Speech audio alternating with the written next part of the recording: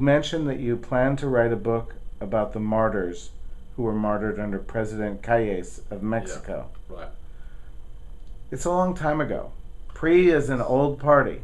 Yes. It's kind of yesterday's news as it is, never mind the guy who kind of started it. Yes.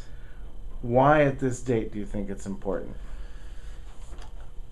For two reasons. Number one, Hispanics don't know their own history. And number two, Catholics in general don't know their own history. It is very surprising to the average Catholic on the street to tell him that just 70 or 80 years ago, the church in Mexico was under very severe persecution conditions and priests were being run down and shot by the federal government. Just to have that happen so close to our border so recently is a surprise. So people have short memories. It's even more recent than that in Central America, In Central America, right? And I've done some in writing, Nicaragua and El Salvador. done some writing on that. Um, and I just think that in this day and age, with all the problems we've had in the priesthood, we've had our difficult problems over the past ten years. he- We need heroes, and many of these people were heroes. And what language do you plan to write that book in? English Oh, or God, Spanish? In English, please. it would be published in Spanish by the by the publishers. They might they'd Oh, hire someone to translate it. will, yeah. Do you speak Gaelic? I used to. I used to speak Gaelic fluently uh, because we learned Gaelic all through grade school and high school. I actually learned English through Gaelic. In grade school, Gaelic was the language that was spoken. However, by now it's just dormant. When I try to speak Gaelic, you know what comes out? Spanish words. Presume that if I was immersed for a month or two, it would come back. I presume it would, but right now I can't. Is there anyone who actively speaks Gaelic in the world right now in their daily life? Oh yes, there are pockets, small pockets in Ireland where it's spoken. I believe Achill Island, which is off the coast, off the west coast, they would still speak it. Very small, however, smaller and smaller communities. But not in Belfast or Dublin or any no. place like now that. Now, there are one or two priests here who have kept it up. Some of the Irish guys here, who grew up in Ireland, have kept it up and actually say mass in Spanish, in Gaelic. In what other ways are you of service to the community that bear mentioning? Well, I mean, my present job is an institutional job. It's here in the insti- in the bureaucracy, um, trying to guide us through difficult So what do you do? times. Um, What's your main two or three main responsibilities? personnel issues. Uh, you know, if there's a problem in a parish, when you have 103 parishes with schools and staff and secretaries and all, everything that involves a parish, there's always some place where there's a personnel issue, some dispute, some fight, some uh, parishioner who's upset at something. So a lot of our work is has to do with personnel. Then we have the sexual abuse issues. Um, you know, we have to deal with them. How much of your time does that uh, take up? It seems like it should be more or less settled at this point. You would think, but there's just um, new, new, new ones keep coming in. We do have a protocol right now that's much more specific, and it kicks in right away. But we do have to spend time on that. But then on weekends, I celebrate Mass in the parish I live in. I just moved. I was in the cathedral. Um, You celebrate Mass as though you were the parish, as though you were the pastor of the parish. well, let's see, the man helping the pastor. Okay. Yeah, I was the rector of the cathedral for six or eight years. Then I stayed on as a man in residence when the new rector took over.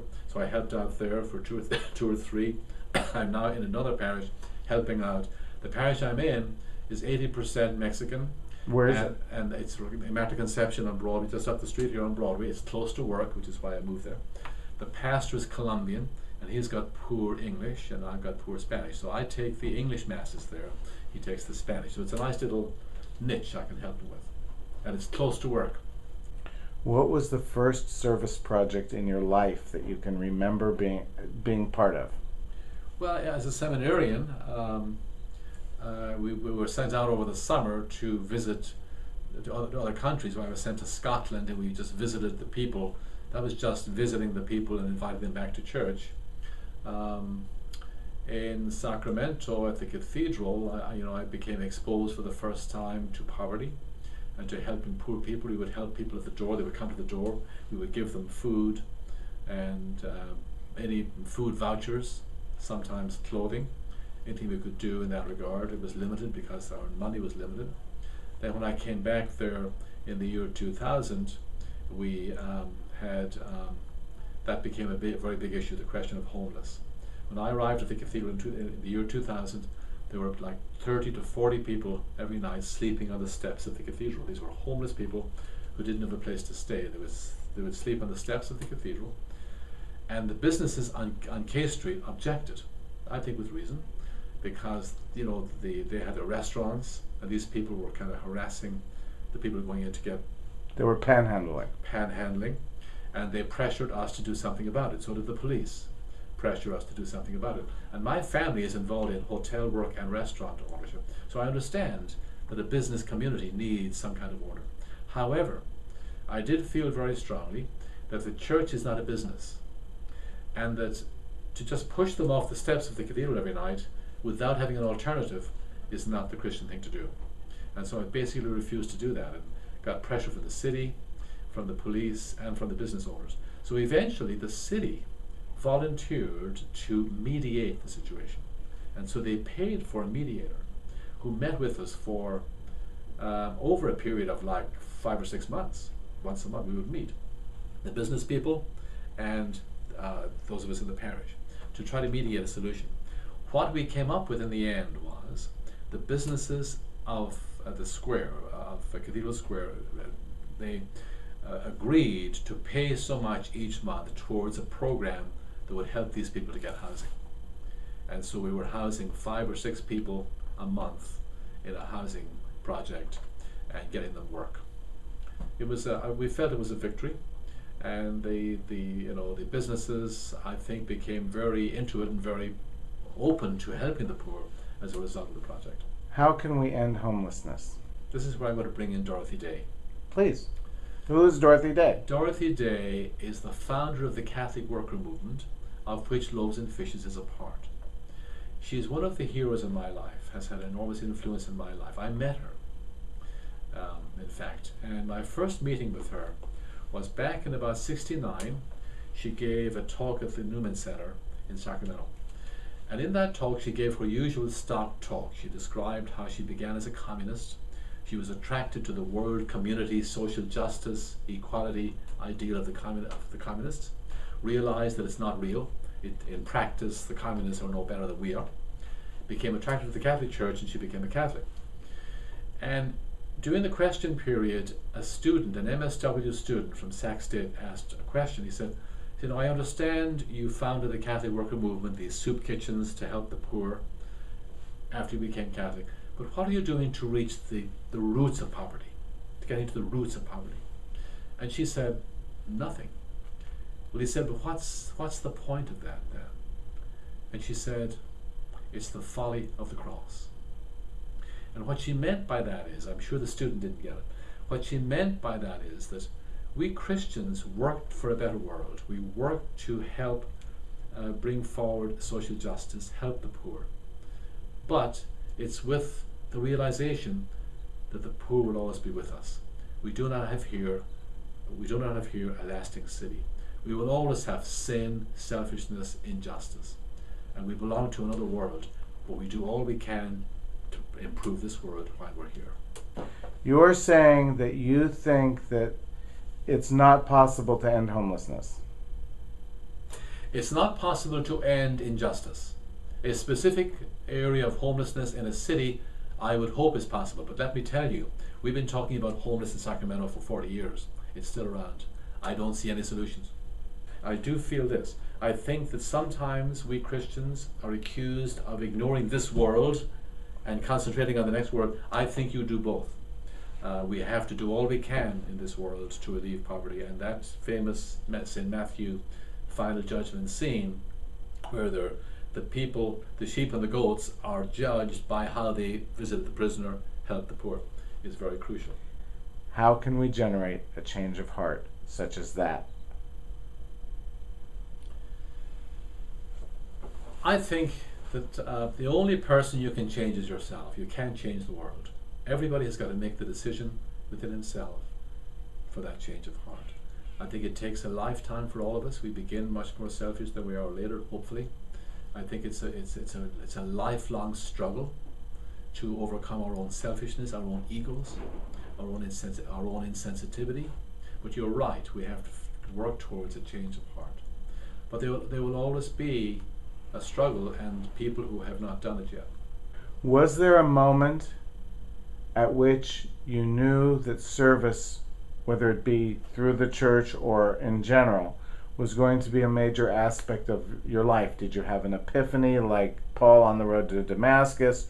Or describe that process for us, please. Absolutely. I mean, uh, my, my decision to, to apply for the priesthood was a decision to help others, to help other people.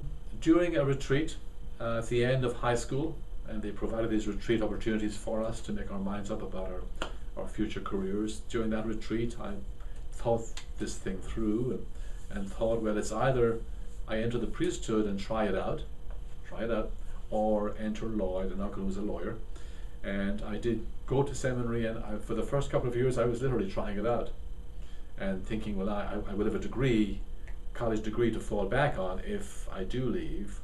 But eventually, it became clear this is what I feel called to. Do you have a particular private spiritual practice other than the Eucharist or the Mass? Well, I mentioned this before we started. Um, my daily prayer is very much centered on the Psalms. Uh, the Psalms to me are just tremendous uh, spiritual nourishment. Um, and something they told us in seminary I found to be true is that the Psalms wear well. They, they, they don't get, they never get old or boring and all the time you're seeing new nuances or new phrases you didn't notice before. So I literally several times a day, because our liturgy of the hours is based on the Psalms, I use the Psalms and find them very spiritual. At the beginning of this conversation, you spoke about how you thought a life lived solely for oneself was an empty and hollow life. And that resonated with one of my viewers but they're timid. They've never served anyone or anything outside themselves. What would be a good beginner's service project that they could partake in in order to test your theory? Well, uh, you know, a soup kitchen like loaves and fishes. Every time I go there, I feel good, even though I have to drag myself over to go there, and sometimes I'm tired I feel good just seeing these people. You've got to do it. See people who have less than you have and realize that when you help others like that, you get more out of it than they do. What might they expect to get out of it? You just feel privileged being able to help a human being who's in need, and you could be that human being yourself. Um, when I was a seminarian, I remember as a seminarian, they used to have us go out to the poor parishes of Dublin and um, visit the poor with an organization called the Vincent de Paul Society. And I was assigned to this man who owned uh, a shoe factory in a nearby town of Drogheda. He drove a Mercedes Benz, he was a wealthy man. And that first night we went to this tenement uh, building and visited this poor family on the second floor, a lady with four kids and no husband. And he gave every kid in that house a new pair of shoes. And driving home, I asked him about it, and he said, you know, he said, I get more pleasure out of that than I do out of sitting in my office in Drogheda running the factory. The direct, face-to-face um, helping of people who need that kind of help is enormously fulfilling. I never forgot that example. That, that to me was real spirituality.